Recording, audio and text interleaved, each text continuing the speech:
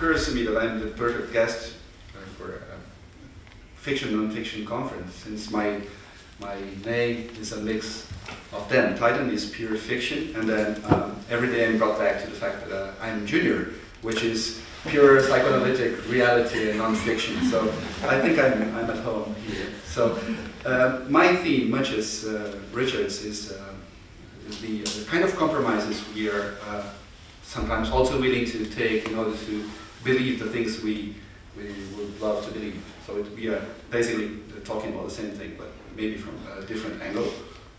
I'll start with an anecdote. I was uh, walking one of these days or these weeks in downtown Sao Paulo, and, and of course it's a, it's a lie. Uh, I ran into a, a, a bookshop, a second-rate bookshop, and I had to stop in front of it, of course. I, I, I, I'm sure it's a familiar experience to most of you here. And so I started taking a look at the titles on show, and, and there was this one about uh, Inês de Castro, who's a Portuguese princess of the Middle Ages who was made a queen after she was dead. And it's a, a, a fable-like topic uh, which uh, pops up every now and then in Portuguese literature, and most famously in Camões, in the, the Lusíadas, the epic poem uh, that is central to Portuguese literature. And um, I said, wow, a new book about Inês de Castro. And then I, I, I realized that there was a subtitle and the subtitle said, as dictated by herself, to a, a, psychographer or whatever, and said, well, this is interesting. Of course, I didn't read the book, the, the, the cover was enough, uh, but it somehow uh, has to do with our topics here. I mean, the, the fact that we are uh, eager for fantasy, maybe uh, much more so than, uh, than before, and, uh, but on the other hand, that we are equally eager to, to have some seal of of truth, of authenticity uh, uh, next to it, stamped onto it. And so we are also eager about to, to read about uh, Portuguese, medieval Portuguese princesses that become queens after they are dead and so on and so forth, or uh, the Game of Thrones or whatever else we read, whatever kind of romance uh, we we allow ourselves to read uh, when nobody's looking at us. And um, but then we are also eager to have the seal of truth of fact of, of non-fiction attached to it. So, um, so this is this is my my theme today. And, uh, um, and uh, more specifically, my I would love to, to invite you to, to to think and discuss about the, this this thing that comes uh, often with the uh, with the idea that nonfiction is central to our uh, literary experiences these days. Uh, we don't just want to to have great nonfiction books, but we want to have great non-fiction books that read like novels. And this is, this is the thing that uh, uh, uh, attracts and annoys me at the same time. Why, what does it mean that uh, a, a non-fiction book, or any, any book at all, uh, should read like a novel? And it irritates me because I think that the standard non-fiction book you get uh, everywhere these days, like the one Anand had in his pocket yesterday, the one about the Taj Hotel and so on and so forth, is is, uh, is a nonfiction uh, book or is a, a, maybe a serious effort at reportage that uh, looks at the novel as the kind of, of narrative model that will provide uh, intelligibility to, to it all. And uh, so it, it, we are not, we don't just want facts, we want uh, understandable facts, facts that will somehow add up to something, to a story, as Richard just put. And, but more specifically, we, want, we don't just want them to, to, to build up a story, we want, want them to build up a novel. And, uh, and then I, I, keep thinking that, uh, uh, why should this be so? Why should we look at the novel as the, uh, as the model for literary, for, uh, for uh, understandability? And more, more to the point, what kind of novel are we looking at when we, we, we wish books to read like novels. And uh, my suspicion is that actually uh, um, most, uh, most of the standard nonfiction you get these days uh, has a very, very uh, conservative model of what the novel is all about. So the novel that uh, nonfiction, most nonfiction writers have in mind is this, is this more or less clear-cut plot with very clear-cut characters that develop uh, two or three, maybe four lines of, of action, not, not so many, uh, that intersect at given uh, points uh, for given reasons and so on and, and so forth. And, and, I think, is, is this really the novel? Is this how the novel came to the world, as this sort of ready-made model for intelligibility? And, and this brings me back to, uh, I'm, a, I'm a literature professor, so it's, it's another profession of lies. And this brings me back to the, the, the origins of the novel in European uh, literature. And when the novel first came uh, out, when let's let's give it a convenient date, when uh, let's move back to 1605, when Cervantes publishes the first volume of the first part of Don, Don Quixote. Has it really got to do? Is the central thing, the central point about the novel, that it should make things understandable? Uh, actually, it's the other way around. The, the point about the novel, the point about, uh, about a, a, book, a novel like Cervantes, or like uh, uh, L'éducation sentimentale, which you quoted yesterday, or Ulysses, or uh, the Mrs. Dalloway, or The Waves, or uh, whatever else. Um, what would be the, the Dutch uh, novel to quote? Willem Frederik Hermans' The Donkere Kamer. is it is the point of these books to make things uh, readily understandable, or is it the other way around? And I have a feeling that uh, uh, the best the novel has brought to European, uh, to Western cultures, and now to world culture, has got to do with this, with this sense that uh, reality is, uh, is, is there, it's, it's, it's waiting for us to question it, to research into, to examine it, but then it's ultimately unreachable. It's, uh, it's, it will always be there as a kind of, of uh, irritant element, provocative element that keeps us uh, moving away from ready-made fictions, from ready-made uh, stories. I remember the, the great literary critic, Canadian uh, critic Northrop Frye, who once uh, said that, well, human imagination, left to itself, keeps churning out the same thing it needs something, it needs some irritant to produce something, like, a, like an oyster that needs some uh, small irritant grain of, of sand to produce maybe a pearl or something like that. And so uh, my, I, have a, I have a sense that the novel actually, uh, the history of the novel should, uh, should uh, alert us to the kind, of, the kind of thing that is being served as the non-fiction novel or whatever else. And it, has got to do actually with the, the experience of limits, gaps, uh, silences, um, provocations, and of wanting to go ahead and not being able to, to go ahead.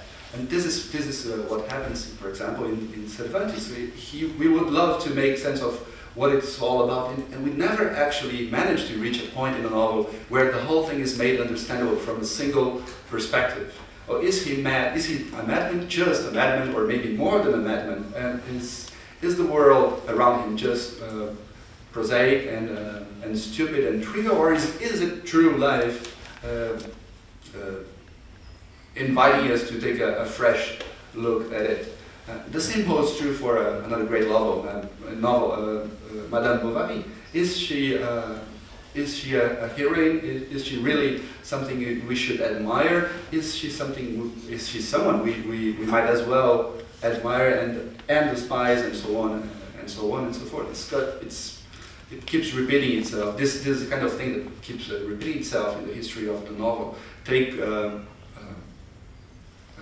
Flaubert's Éducation sentimentale.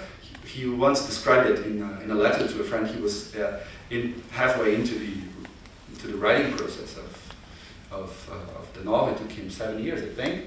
And he said, well, this is going to be not just a novel, it's going to be l'histoire morale de ma génération, the moral history of, of, of my generation. And when, then when you come to, to the actual novel, to the final uh, text of the novel, well, of course, it's, it's full of innuendos, but there's nothing like a moral you could pick out, pick up and out of the, of the novel. It's, it's, uh, you're, you're brought back, you were in 1870 when he uh, finally publishes the, the, You're brought back to 1848 and to the sense of puzzlement that these things happening just in, in front of your face and uh, without a tag, without a, a, without a tag attached to them, uh, explaining what this or that means or who uh, this character is or might be. They are there in their uh, usual, in a, in a, sort of heightened opacity, heightened uh, uh, as a heightened riddle, offering themselves and provoking us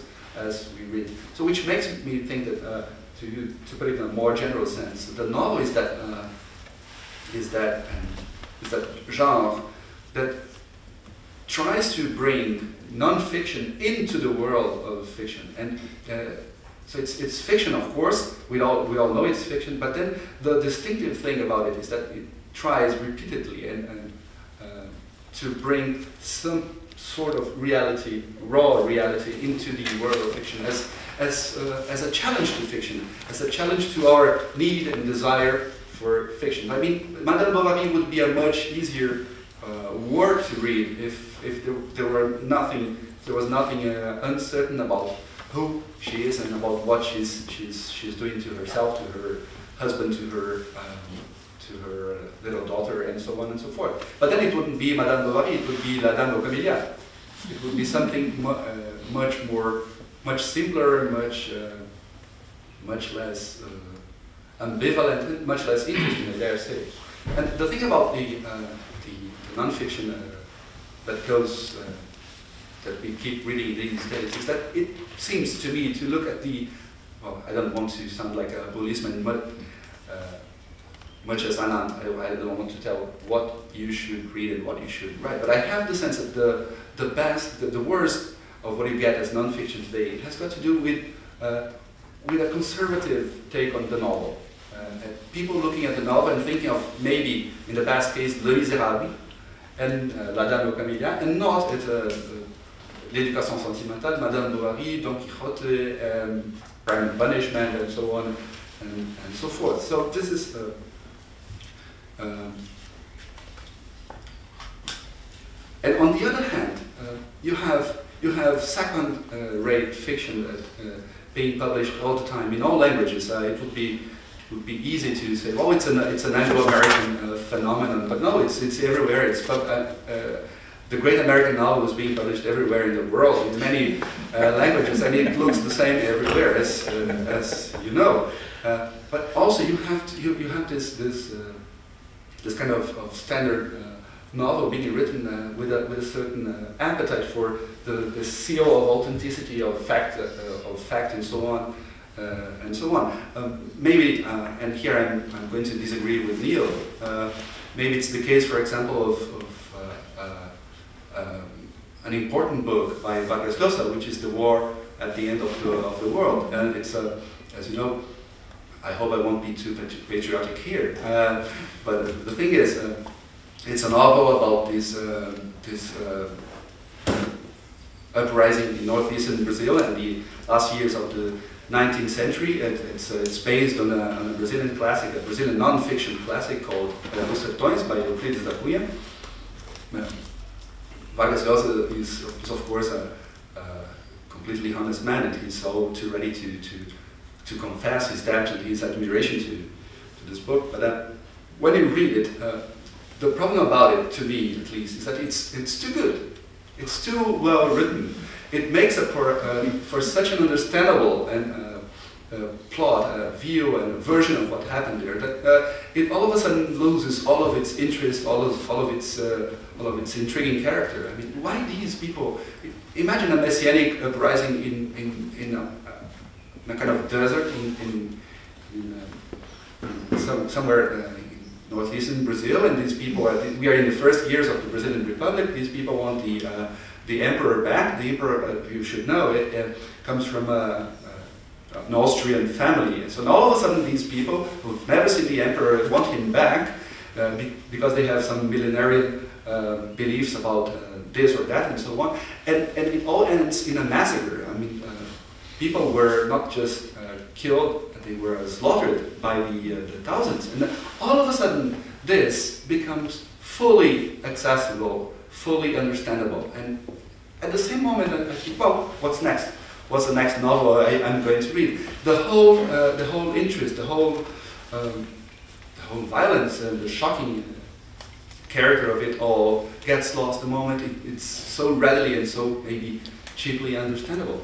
It makes history as, as, as readable as any standard novel. You get uh, pretty much anywhere. In, in sharp contrast to Vargas Llosa's own uh, first novels about his own uh, childhood and, and, and, and, young years in, uh, in Peru, I'm thinking of uh, uh, the very first one, La Ciudad y los Perros, The City and the Dogs, which is absolutely great. Also because, well, you probably read it, there's, there's a, a, a shocking event in the middle of it, and nobody's really comes out of the novel really knowing whether what actually happened and who was behind it all. And so uh, I wonder whether this uh, we are not moving in, many in many uh, cases too, towards a sort of ersatz reality.